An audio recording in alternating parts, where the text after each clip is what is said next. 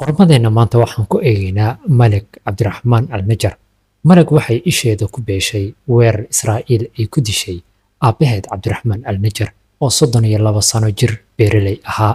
Si lama filaan ah malig waxa ay joojisay hadalkii waxa ay ku tiirsan tahay jabka dhismaha iyadoona dhunkanaysa cunug yar ee dhabteeda saaran.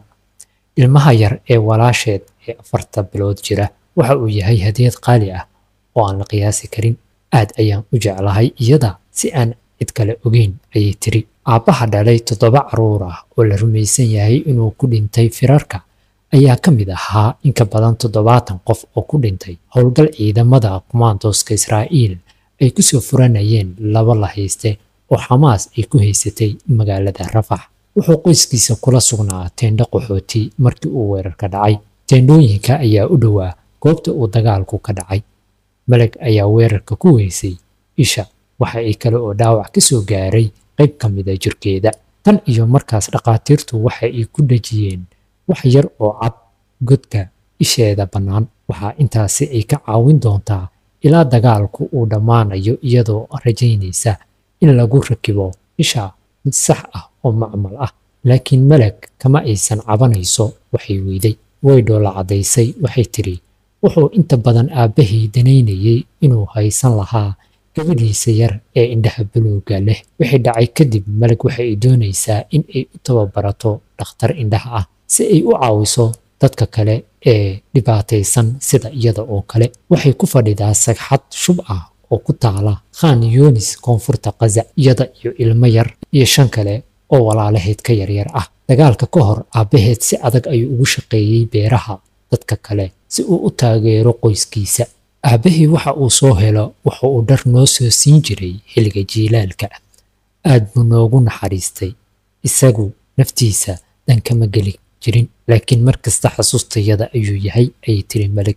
Toddobadii oktoobar sannadkii labadii kun labaatan iyo saddexdii ayay ahayd markii uu dhacay weerarkii xamaas ku qaaday israa'iil kaas oo ay ku dhinteen in ka badan kun iyo laba boqol oo qof ayna ku jireen carruur aad u fara badan. Weerarku wuxuu dhaliyey duqaymo cirka ah oo aan kala joogsi lahayn iyo la dagaalanka xamaas ku dhowaad afartan iyo laba kun oo qof ayaa hadda la ildaran sida ay sheegtay wasaaradda caafimaadka ee xamaas ay maamusho. Qiyaastii boqolkiiba sagaashan dadka qasa ku dhowaad laba milyan oo qof ayaa barakacay sida ay sheegtay qaramada midoobay. Waxaan dareemayaa xanuun aysan xitaa buuruhu qaadi karin ayay tiri maleg waan barakacnay waxaana dareemaynaa in nolosha oo dhan ay tahay barakac. Waxaan u guuraynaa meel meel mar walba waxaa dhaca madaafiic.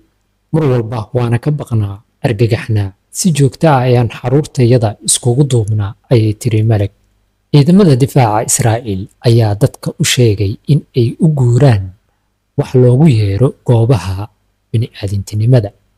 Dadku way cararayaan laakiin baadiyaha kama helaan ammaan qoyska cabdiraxmaan alnajar waxa ay hadda ku noqdeen gurigoodii laakiin waxay ogyihiin inay mar kale barakacaan ama baxsadaan.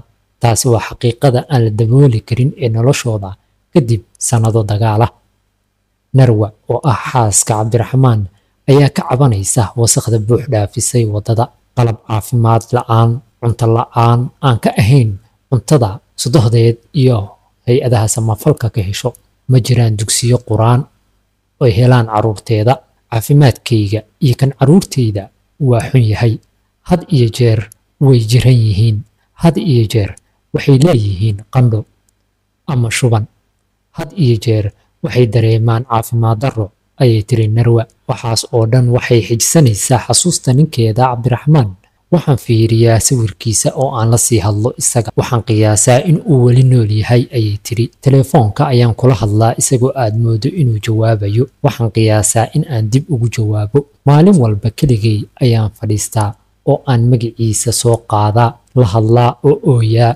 Waxaan dareemaa in uu ka warqabo oo wax kasta oo aan ku jirno ogyahay. Haddaba daawade sheekooyinka narwa iyo maleg waa muuqaal kala qaybsan oo muujinaya dhibaatadii labaiyo tobankii bilood ee la soo dhaafay iyada oo dagaalku uu galay.